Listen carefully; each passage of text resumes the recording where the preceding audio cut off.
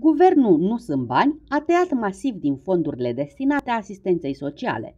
La nivel județean, banii alocați în acest an sunt cu 80% mai puțin decât în 2019. Situația creată obligă administrația județeană să găsească soluții pentru a rezolva problema și a nu băga sistemul în colaps. Din păcate, pierderea este mai mare față de bugetul anului interior. Sunt aproximativ 61 de milioane de lei pe care Consiliul Județeanul îi pierde.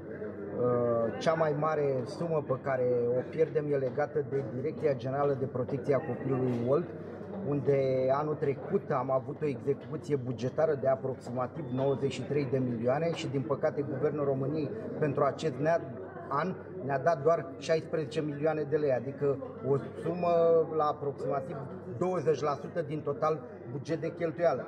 Autoritățile oltene dau asigurări că nu vor lăsa de izbeliște bătrânii și copiii aflați în grija statului. Consiliul Județean Olt o să pună o mare parte din sumă pentru acoperirea acestei uh, găuri pe care Guvernul României a creat-o în bugetul Direcției Generale de Asistență Socială, dar din păcate nu o să reușim să încă de la început de an să acoperim uh, uh, cheltuielile de finanțare ale direcției până la finalul anului. Ca și cum nu ar fi fost suficient, guvernul Orban a prevăzut pentru acest an și majorarea salariilor personalului din sistem. Bani pentru aceste cheltuieli suplimentare nu au fost prevăzuți în buget. Ei vor trebui asigurați tot din bugetul județului.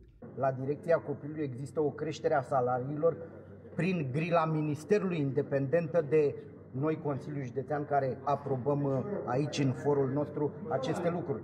Deci, uh, guvernul acordă creșteri salariare la, la angajat, dar în același timp nu asigură și bugetul pentru acest lucru. Bineînțeles că vom încerca să limităm și să uh, aprobăm uh, uh, concursul de personal la Direcția de Protecție a Copilului doar în măsura în care este absolut necesar astfel încât să reușim să asigurăm Uh, toate turile, pentru că, așa cum știți, Direcția Generală de Protecție a Copilului este o instituție care lucrează la foc continuu.